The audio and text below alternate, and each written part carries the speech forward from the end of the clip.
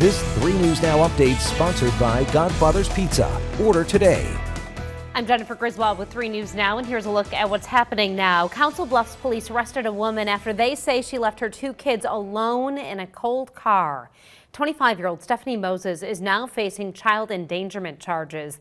Police say she left her children ages 2 and 4 alone for 45 minutes in a car with the window partially cracked. The engine was turned off.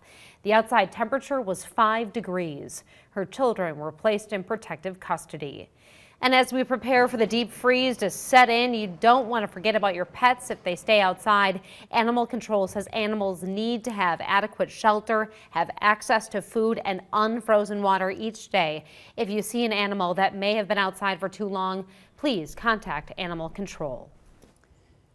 And on 3 News Now, Weather Alert meteorologist Jennifer Zeplin with this latest weather update. Uh, the wind chill warning remains in effect until noon on Wednesday for most of eastern Nebraska and western Iowa.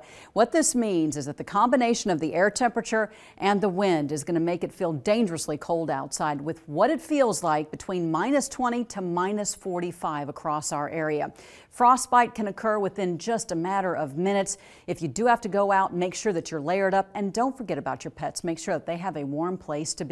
As far as the wind chill readings in the morning here in the metro, we're going to start off with about minus 30. We'll stay around minus 20 up until about lunchtime.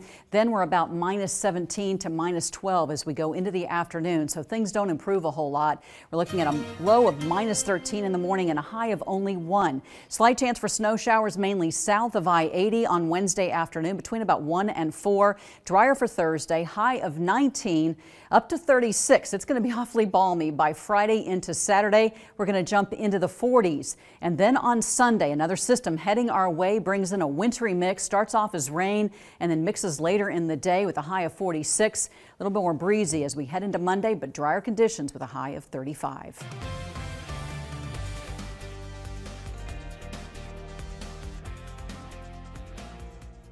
Now at Godfather's Pizza, get a large one-topping pizza for 11 bucks when you buy two. That's right. Get two large one-topping pizzas for only $11 each. And this is a delicious deal. At just $11 each, now for a limited time.